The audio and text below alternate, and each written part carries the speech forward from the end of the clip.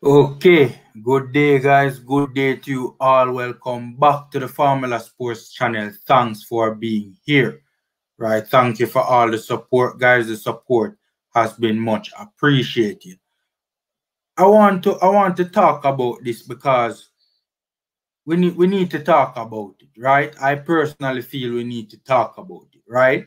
For starters, let me just preface my comments by saying I say all of this with the greatest of respect to our national head coach, Theodore Tappa Whitmore, right?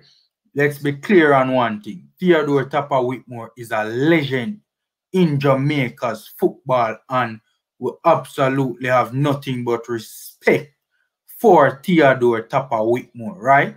He has done a decent job as coach, right? To be fair to him, all things being considered, and you know, I personally have nothing but respect for for him, and I hate to hear when people get disrespectful, right, when talking or referring to Theodore Tappa Whitmore. So let's just make that absolutely clear, right? But with that being said, and I fear this was going to happen before the Costa Rica game, and it has indeed happened, right? Where we had a decent showing against Costa Rica, right? A decent result against Costa Rica in Costa Rica, and the calls for Tappa to go. You remember this hashtag that was trending on, on Twitter? Look at the bottom of your screen. You see it? Hashtag Tappa out. That was what was trending before the Costa Rica game. Right? All of a sudden, the Costa Rica game has come and gone, and the general consensus seems to be that Tappa should be given more time. Right? Or Tappa he he he, he earned, so to speak, uh another run, another go at it, so to speak, or the, the, the pressure has been cooled, so to speak, because there were quote unquote encouraging signs against Costa Rica, right? And and and so he would have he would have earned the right to to to to coach another game as the national head coach, right? The pressure has cooled, it definitely has. I mean, when I even hear top man like Oral the Maverick Tracey saying that, you know, um, Tappa, basically Tappa has, what did he say again? Basically that, what did, what, what did Oral Tracey say again, man? Oh God, man. Basic, oh, Tappa's job safe you know. That that was what it, that was what the headline was. Tappa job safe for now. Exact. That was what um the um Oral Tracey, Oral the Maverick Tracey would have said. Tappa job safe no, right? Guys, with the greatest of respect to Theodore Tappa Whitmore, I think we need to move on past Theodore Tappa Whitmore right now. I think we need to move on past Tappa right now, right? Guys, do not be fooled by the Costa Rica performance. Please don't be fooled by the Costa Rica performance. We need to keep the pressure up right? We need to keep the pressure on Theodore Tappa Whitmore or the JFF, right? To replace the national head coach, right? Some people say, oh, who we're going to replace Tappa with, right? Who we're going to replace Tappa with, right? We do have money to, to, to afford decent coaching, right? According to the JFF, they're going to be in serious debt if we do not get to the FIFA World Cup in Qatar we are going to be in serious, serious, serious debt, right? Even far more, far greater than what we have right now if they don't get um sponsorship, right? I mean, guys, we're talking about crippling debt, absolutely crippling debt. I fear for the nation's football. I fear for the nation's football if we do not get to Qatar. I fear for the nation's football, guys. And my whole thing is that, guys, do we really and seriously, truly believe that Theodore Tappa Whitmore will get us to the, the Qatar World Cup? Do I believe the squad is good enough to get there? Absolutely. Do we think the coach, genuinely, guys, do we think the coach is good enough to get us to the FIFA World Cup in Qatar? Because I don't. Me no know about you, you know, people. Honestly, me no know about you, but I personally don't think Tappa has the capacity to do it, right? So what happens if we don't get to that World Cup? we, we'd be in, in such crippling debt because you guys know we get um prize money for qualifying for the World Cup, right? What happens if we don't get that?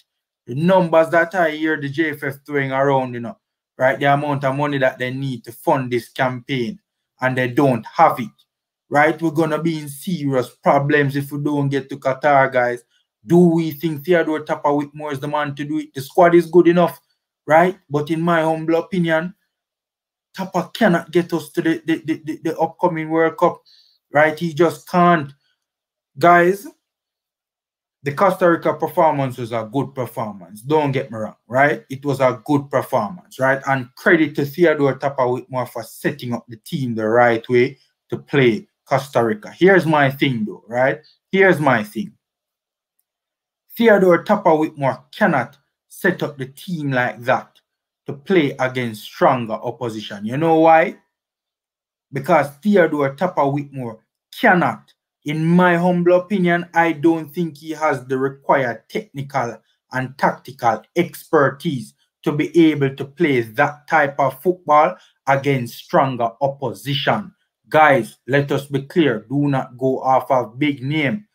Yes, Costa Rica is a big name in CONCACAF, but right now, they, they are arguably they are arguably the weakest team in, in the octagonal. Many people, the general consensus is many people, right, think that it is either between El Salvador and Costa Rica, right, as the weakest team in the octagonal, right? They are certainly, Costa Rica is certainly in the conversation to be the weakest team in the octagonal, right? And my thing is that don't get too carried away by the Costa Rica performance. To be fair, he set up the team the right way to play against Costa Rica, but I do not think Theodore Tappa Whitmore has the technical expertise to be able to play that type of football against better teams. Guys, what we saw in the Costa Rica game was, was technicality versus mobility, right? So Costa Rica being the slightly you know, they're, they're, they have the better technical players, no doubt about it, right? They have the better technical players, right? We, here's the thing, the gap between us and them where the technicality of our players is concerned is not that big of a gap, right? Here's the thing though, the gap between our team and their team where mobility is concerned is a huge gap. It is a huge gap. And that's why I say it was a matter of technicality on the part of the Costa Ricans versus mobility on the part of the Jamaicans. And because of the gap in mobility being much bigger than the gap in technical ability between the two teams, you would have seen where Jamaica would have put up that sort of performance that we put up against them. We also put up a decent performance against them in the Gold Cup, right? And my thing is that, my thing is that we, we saw in that game, right? We were first to 50-50 balls. We were first to 50-50 balls, right? When it when you think about it, right? Other teams in the octagonal will be closing us down, right? Their players will be closing down our players on the pitch a lot quicker than the Costa Ricans were closing us down, right? In the game, the, the in the, the game against Costa Rica right? We we won a lot of the second balls as well, right? Guys, against guys, I'm telling you, against better teams, and not Tappa does not have the technical expertise to play that type of football against better teams. In my humble opinion, he does not. Guys, let us not forget, right? We have seen some absolutely atrocious games from a tactical standpoint from Theodore Tappa Whitmore, especially, well, many people have been talking about it for a long time. In recent, look at the first two games. Look at the first. Let us not forget about the first two games. Theodore Tappa Whitmore was outclassed in the first two games, especially the game against Panama. The Panamanian coach absolutely destroyed Theodore Tappa Whitmore when we talk about the Panamanians having all the, the, the, the numbers in the right places, right? On the park at the right time, having the right amount of numbers in the right places at the right time. When we talk about the Costa Ricans and their, the Panamanians rather, and their patterns of movement in that game, patterns of movement to create space, patterns of movement to get into space, patterns of movement to exploit space, right?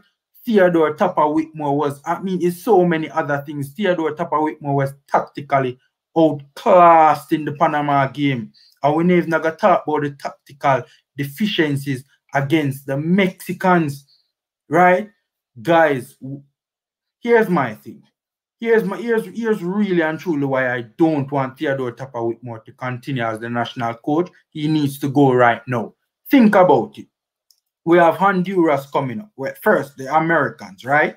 Then the Canadians, then the Hondurans. Guys, how many points you see Theodore Tappa Whitmore getting against those teams? On paper, you know, our teams measure up to those teams, you know.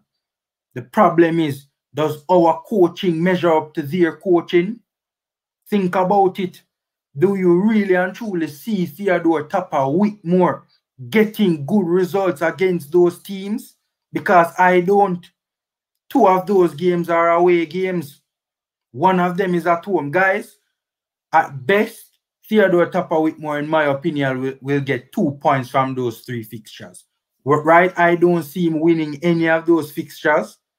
I don't think he has the technical expertise to win any of those fixtures, three fixtures, and unless him get lucky. Unless him get lucky. Right? At best, he will get two draws against those teams. Because you know going against them three teams there. We're gonna sit behind the ball for the entire game. We're never not gonna try to counter. Honestly, that's what I see happening. And the pressure is just to be for the entire 90 minutes in those three respective games because Tappa Tapanev not got Tapanev not got try for counter or even try for hold the ball for any sustained amount of time to try and relieve the pressure for the back line. Guys, what is to take place is that I I I really and truly foresee Tappa being fired. If if the JFF is not going to fire him now, right? But I would be shocked if Tappa Whitmore is not fired in the next round of fixtures, either after game five or after game six, right? By that point in time, we have we would have lost so much ground. Guys, I really and truly, and I don't wish this upon us, but I'm I'm being real right now. I don't see us, I'm being real right now. I don't, I, it doesn't give me pleasure to say it, right? But I have to be real. I don't see us being on. If Theodore Tappa Whitmore coaches all three games in the upcoming round of fixtures, I don't see us being on more than three points. After those six games have been completed, the three coming up plus the three already gone, I don't see us being on more than six points and more than three points rather. I don't. Tappa Whitmore will certainly be fired after that. He will be I think he will be fired even after game five if we lose both game four and game five. The moral of the story is I see Tappa Whitmore being fired after the next round of fixtures because I don't see the next round of fixtures going well. Think about it. The three upcoming teams that we are facing in the next round of fixtures are better, barring the Mexicans, are better than the two of the three teams that we played in the last round of fixtures. Think about it. In my opinion, you know, I had I had Canada, US, and Honduras finishing ahead of us in the octagonal. You know. These are not joke teams coming up, guys. As a matter of fact, I still believe that three out of those four teams will occupy the top four spots. My thing is that if we delay, if we delay moving on from Tappa, it will be too deep a hole that we find ourselves in too late in the qualifiers. For starters, a new coach will need time, right, to familiarize himself with the players, right? Even not on a personal, even if not on a personal level, but at least watching tape of the players to know the type of players, right, that he's dealing with, watching like games and so forth and so forth, right? If Paul Hall will be his replacement, even though he will know the players more. Yes, true, but he will need time to settle as the coach. We have what about a month to go before the next round of fixtures. Use that time to bring in a new coach to to have him to settle during that time. Don't wait until after we lose game four or after we lose game game five. In the middle of those, I mean, if we wait until then, we have to call them three fixtures a day, man. Honestly, we would have to call them three fixtures a day. Do it now. Because trust me, if we don't do it now, what is going to happen is, in my opinion, what I foresee is either going to be fired after game four, if it goes really bad, after game five, or after game six. Because I don't see him lasting in a job longer than those three games. Because I don't wish it upon us. I'm just being real. I don't see those three fixtures going well with Tappa as the head coach. We're going to delay the settling process for a new coach. If we delay Tappa's removal, right, delay the process of a new coach getting to know the players.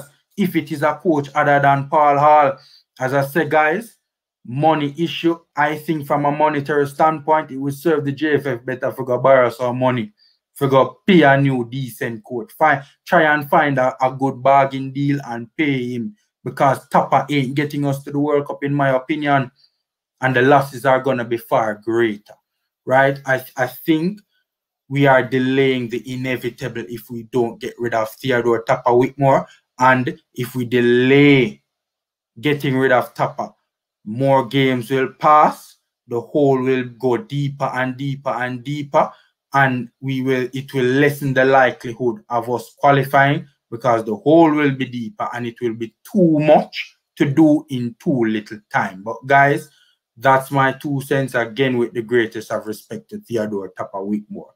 So guys, enjoy the rest of your day. Stay safe, take care, and until next time.